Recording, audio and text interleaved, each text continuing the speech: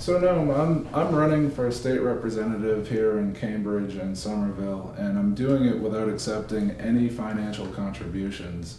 And you know, first of all, I'm doing it because I think there's lots of room for improvement on Beacon Hill and in state level government. But I also have a, a wider purpose because I'd like to set an example that says financial influence shouldn't translate into political influence. Absolutely. That's uh, to the extent that you have a functioning democracy, uh, the number of dollars you have should have absolutely nothing to do with uh, your influence on political decisions. I mean, otherwise, it just amounts to buying elections, which we're very close to. Actually, I should say there's nothing new about this. So you go back uh, a century, uh, one of the great political managers, famous political managers, was Mark Hanna. And he was asked once, uh, what's important for a political campaign? He said, well, three things. He said, the first thing is money. The second thing is money. And the third thing, I've forgotten what that is. that was a century ago. And since then, it's gotten incomparably worse. I mean, you can pretty well, there's pretty good political science work on this. A lot of the best work's done by a professor at UMass Boston, Tom Ferguson. And what he's shown very convincingly, I think, is you can pretty well predict who's going to win an election just by looking at campaign contributions. But more interestingly, you can pick, you can pretty well determine the policies they're going to follow Right. by looking at the concentration of campaign contributions. And that tells you, to the extent that that's true, that means that democracy is just a farce. It means it's as if uh, the number of votes is the number of your dollars. Uh, Right. We can tell what comes out of that, and we're approaching that. It's gotten worse in the last couple of years, partly Supreme Court decisions, partly just the concentration of wealth in the economy, and with it the corruption. Well, you know, the, I don't know if you want to call it corruption, the drift of the parties towards becoming, you know, burrowing deep into the pockets of those who have money, so corporate pockets.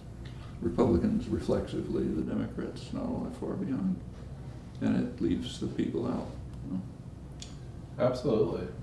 And you know what what I'm hoping to do is that if this campaign succeeds, then others will see this example and we can from the ground up sort of set a new example that says, you know, where people can, are actually empowered to say, I don't want to be represented by someone who's a part of this big money That's- system.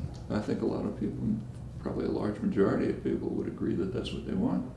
And if they see that it's possible, like we don't have to, just have to give up, we can actually do something, could take off.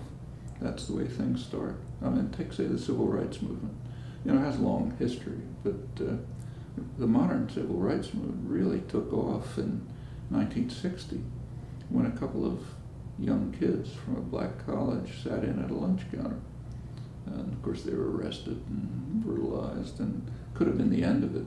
But instead, a couple more kids came in. Pretty soon, you had Freedom Riders registration. Pretty soon, you had Mass March in Washington. A lot of gains, not everything, but a lot of gains. Uh, the women's movement was exactly the same. Began with uh, women talking to each other in small uh, consciousness-raising groups. Uh, before too long, it had the you know, the biggest change in the country, and in fact, the world of the modern period.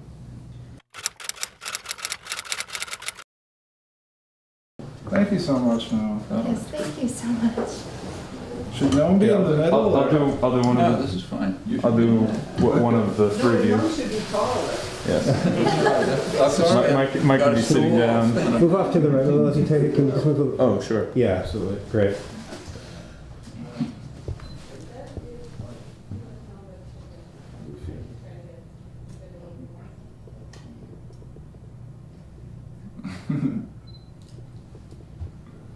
Hold on, one- give, give me just twenty seconds like that. Oh. Thank you so much, um, And double congratulations on being elected and getting married.